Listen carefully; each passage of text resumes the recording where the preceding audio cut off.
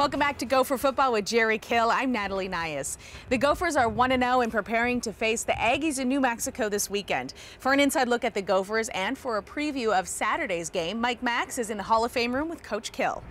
Thanks very much. Before we look ahead to New Mexico State this week, Coach, one of the things that when you came here you said was paramount to building a program was what you did in the weight room in the offseason, and not just what you do, but that you have a plan that is consistent and you keep building.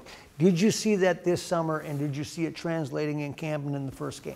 Well, I don't think there's any question. Uh, you look at a young man, I guess Max Williams, who mm scored a touchdown uh, when Max came in. Uh, a year ago, he was, uh, you know, 205, 210 pounds. Now he's 250, 255. So I guess that's the best short answer I could give. But there's no question the younger kids have grown and gotten bigger and stronger, but they're still young. And uh, but uh, our weight room guys have done a really good job, and and our strength staff, and and uh, that's if I based it, that's a perfect example of uh, of what you see and what you want yeah, to what, what, what you want to do in recruiting, and and you got to build them in a weight room. And and Max is a terrific player. He had a great he had a great ball game. Yeah, he's one of those guys you've talked about him since you recruited yeah. him, really. But when you saw him in high school, he was just an athlete that you wanted. And, yep. and I think your vision kind of was he'd be a tight end or maybe a defensive end. He's converted at the tight end position, and we all know his lineage with his, his uncle playing here and his father playing in the NFL and his mother a great volleyball player. But it, you can kind of see that all coming together oh, in one oh, package. You, you certainly can, and uh,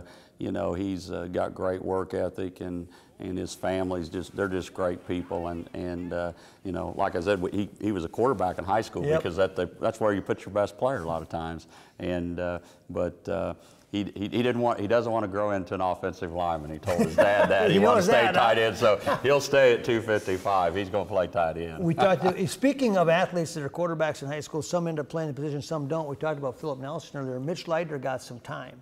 Not only did he perform pretty well, he scored a touchdown, but it looked like he's got the troops kind of rallied around him. That he's kind of a tough kid out there. Oh yeah, kids kids like Mitch, and he's uh, you know we'll we'll need him you know uh, for the years over in, in some way, shape, or form, and we want to keep Philip healthy. But uh, it was good to get him in, and it's and it's good how he played. You know he loves running option, the zone read, and he's a physical kid, and and uh, you know he was on the work team a year ago, and he's just really developed, and uh, I think he's got special years ahead of him too. So I was excited about him getting in there and and, and having success, and then getting a touchdown. You know was, you know, for a kid that works as hard as he has, it was exciting. New Mexico State, we turn our attention to. I saw some of the first half against Texas. They hung in there in the first half against Texas, then they got wore out in the second half. You know a little bit about them. They've been here once before. Uh, it looked to me like they've got some some speed and some skill position guys. Well, they, they do, and, and uh, their head football coach, uh, I coached against, he was at Kent State when mm -hmm. I was at mm-hmm. Northern.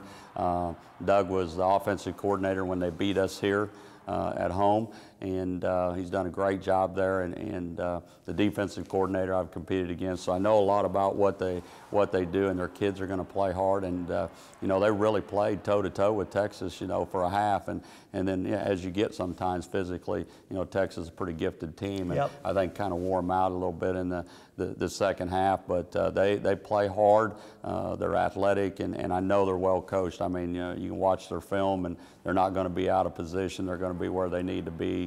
Uh, they're going to try to control the football and keep you off the field. And uh, so uh, it'll be, a, um, you know, and then we got to go on the road. And uh, I've always said I want to play at home. I'm the guy that's been fighting. I want those home games. So, but uh, they're a lot, lot, lot easier to play at home. So we got to get on that flight, and it's just different, you know, when you go on the road and night and, and night games. So we're going to have to, we're to have to be ready to play. And they beat our butt, you know, the last time we played them. So we need to, our kids should have a good, good remembrance of that and and uh, be motivated to play. Thanks very much, Coach. Thank you. The Gophers in New Mexico State Saturday night, a night kickoff. We'll review it, of course, next week on the Jerry Kill Show. That will do it for this week's edition of Gopher Football with Jerry Kill. Be sure to check out gophersports.com for updates all week on the Golden Gophers. For Mike Max and Jerry Kill, I'm Natalie Nias. Thanks for joining us right here on Gopher Football with Jerry Kill.